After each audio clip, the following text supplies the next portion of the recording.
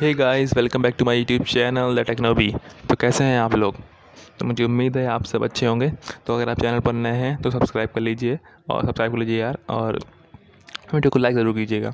तो जैसा कि आप जानते हैं जो कैरी मिनाटी ने आमिर सिद्दीकी को एक रोस्ट किया था, एक वीडियो बनाई थी, उस पर यार 9.9 मिलियन लाइक्स हो चुके हैं यार, पता है आपको? और वो इंडिया की मोस्ट लाइक्ड वीडियो बन चुकी है। इससे पहले जो मोस्ट लाइक्ड वीडियो थी इंडिया में, वो थी अक्षय कुमार सर का फ़िलहाल गाना। जिस पर कि six point six million likes थे। लेकिन ये यार इस वीडियो ने तो रिकॉर्ड तोड़ दिए सारे। तो आज हम लोग बात करेंगे आमिर सिद्दीकी वर्सेस कैरी मनाटी। नहीं, हम लोग ये बात नहीं करेंगे, बिल्कुल बात नहीं करेंगे ये। हम लोग बात करेंगे सम फैक्ट्स रिलेटेड टिकटॉक और मैं इस वीडियो के एंड तक आपको एक ऐसी न्यूज़ दी न्यूज़ दूँगा, जिसे आप सुनकर शायद थोड़े से चौक जाने वाले हैं। तो जैसा कि आप जानते हैं यूट्यूब जो है वो American based video sharing platform है, और जो टिकटॉक है वो Chinese based video sharing platform है। तो यूट्यूब जो आया था इंडिया में, वो आया था 2007 में और टिकटॉक आया था 2017 में। तो यूट्यूब के आए हुए हो गए हैं हमारे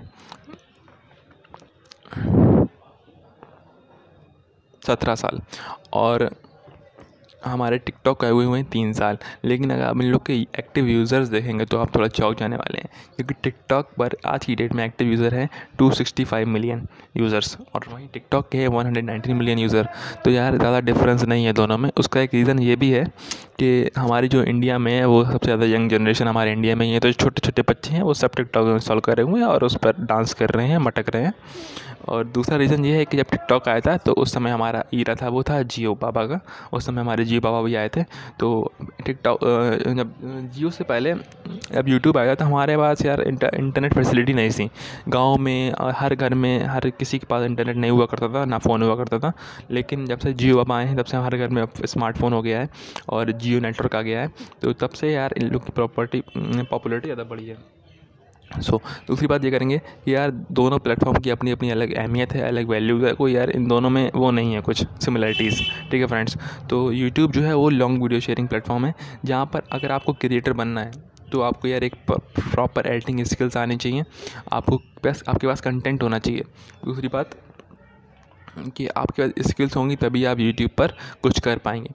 वहीं अगर टिकटॉक की बात करी जाए तो टिकटॉक पर टिकटॉक ने ये पावर दी है कि आप हर कोई क्रिएटर यानी कि जो टिकटॉक का यूज़र है, वो हर कोई क्रिएटर है। आप कुछ भी कंटेंट कोई भी क्रिएटर बन सकता है। तो यार, ये अच्छी बात है, आप कोई भी क्रिएटर बन सकते हो, हर कोई कोई भी फ़ेमस हो सकता है, कोई यहाँ पर वो नहीं है। मतलब कि यार, तुम अमीर हो, तुम गरीब हो, तुम पॉप फ़ेमस हो सकते हो, तुम नहीं हो सकते हो तुम्हारे पास तुम्हारे पास एडिटिंग स्किल्स हैं, नहीं है तुम्हारे पास कुछ है नहीं तुम्हारे पास बस एक फ़ोन होना चाहिए और तुम कुछ भी क्रिएट कर सकते हो और लोगों को अपने, अपनी ऑडियंस को एंटरटेन कर सकते हो। ये तो एक अच्छी बात भी है। तो यार टिकटॉक से जो सबसे ज़्यादा थ्रेट है, वो है इंस्टाग्राम और फेसबुक को। वो कैसे? देखो फ्रेंड्स एक सर्वे के हिसाब से पता चला है कि लोग अपने कैजुअल टाइम में इंस्टाग्राम और फेसबुक को छोड़कर टिकटॉक देख रहे हैं। हाँ लोग टिकटॉक देखना पसंद कर रहे हैं। तो जो वॉच टाइम होता है ना वो एक देखा गया है कि इंस्टाग्राम और फेसबुक का पहले से थोड़ा घटा है और टिकटॉक का वो लॉकडाउन में बढ़ते ही जा रहा है। ठीक है फ्रेंड्स तो एवरेज मैंने देखा था कुछ एक इंडियन एवरेज डे में approx fifty to fifty fifty to sixty minutes TikTok पर बिता रहा है हम्म। सो तो ये एक थ्रेट है इंस्टाग्राम और फेसबुक के लिए। देखिए टिकटॉक की एल्गोरिथम ही ऐसी है, अगर आप एक दो वीडियोस देखेंगे तो आपका मन करेगा और देखें और देखें और देखें। यही डिपेंड करता है कि आप कैसा कंटेंट देख रहे हैं। तो अगर आप क्रिंच कंटेंट देखेंगे तो आपको सिर्फ़ क्रिंच ही दिखेगा। तो आपको अगर अच्छा कंटेंट देखना है तो अच्छे कंटेंट को लाइक कीजिए तो आपको अच्छा कंटेंट ही दिखेगा। स्टोरीज टाइप दिखेंगी सॉन्ग्स दिखेंगे, जैसा आप लाइक करेंगे वैसा आपको कंटेंट दिखेगा। तो ये पूरा बेस्ट करता है कि आप कैसा कंटेंट देखना पसंद कर रहे हैं। उसी हिसाब से आपके होम पेज पर वीडियोज़ आती हैं। और दूसरी मैं न्यूज़ की जो बात कर रहा था वो ये कि बहुत ही जल्दी यूट्यूब एक एक ऐप लॉन्च कर रहा है जो कि टिकटॉक को कम्पीट करेगा। जी हाँ जिसकी मैं बात कर रहा हूँ वो है यूट्यूब शॉर्ट्स अब ये यूट्यूब शॉर्ट्स क्या है? यूट्यूब शॉर्ट्स की जो थीम है वो पूरी बेस्ड है टिकटॉक पर। यानी कि हम लोग टिकटॉक पर डबिंग वीडियोस बनाते हैं वॉइस ओवर करके। वैसे ही इस प्लेटफॉर्म पर भी लोग वॉइस ओवर करके डबिंग वीडियोस बनाएँगे। इसका एक रीज़न ये भी है यूट्यूब ने देखा यार ट्रेंड देखा कि यार लोग यार शॉर्ट वीडियोस देखना पसंद कर रहे हैं और वो नहीं चाहते उनका ट्रैफ़िक चला जाए, वो चाहते हैं सारा प्रॉफिट हमें आए। तो वो चाहते हैं यार हम भी एक ऐप बनाते हैं जिससे कि लोगों को ट्रैफ़िक अपनी तरफ़ लेते हैं। तो इसी मारे, ये देखिए फोर्ब्स का आर्टिकल है in is YouTube trying to compete with TikTok क्या यूट्यूब जो है वो टिकटॉक से कम्पीट करना चाह रहा है? YouTube is planning on launching a feature with its an app to direct compete with video sharing app TikTok reports the information shorts which is set to launch at the end of 2020 यानी कि twenty twenty के end तक YouTube shorts आ जाएगा